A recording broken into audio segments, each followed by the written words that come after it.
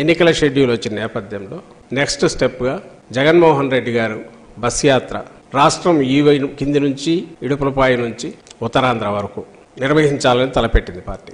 ఒకవైపు రాష్ట్ర స్థాయిలో నాలుగు చోట్ల దీని దిక్కులు పిక్కటలేలాగా దాని ప్రతిధ్వని వినపడింది సిద్ధం సభలది. జాతీయ స్థాయిలో కూడా అందరి దృష్టి ఈ వైపు మళ్ళింది.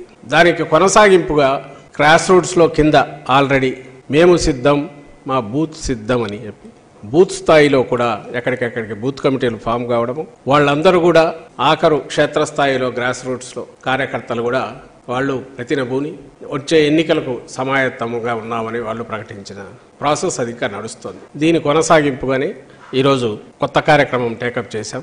ఈ నెల ఇరవై ఏడు నుంచి గౌరవ ముఖ్యమంత్రి వైఎస్ఆర్ కాంగ్రెస్ పార్టీ అధ్యక్షులు జగన్మోహన్ రెడ్డి గారు ఇడుపులపాయ నుంచి బస్ యాత్ర ప్రారంభిస్తారు.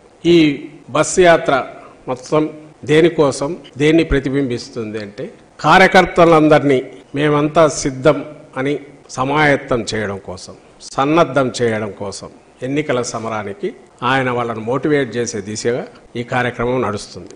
లక్ష్యం ఎంటైర్ రాష్ట్రమంతటా ఉన్న లక్షలాది మంది కోట్లాది మంది అభిమానులు వైఎస్ఆర్ పార్టీ కాంగ్రెస్ వైఎస్ఆర్ కాంగ్రెస్ పార్టీ కార్యకర్తలు ఎన్నికల యుద్ధానికి సమాయత్తం అని చెప్పి డిక్లేర్ చేసే సందర్భం. ఇవి వరుసగా ఎక్కడైతే సిద్ధం సభలు జరిగిన పార్లమెంట్ నియోజకవర్గాలు వదిలి మిగిలిన నియోజకవర్గాల్లో చేయాలని నిర్ణయించింది పార్టీ.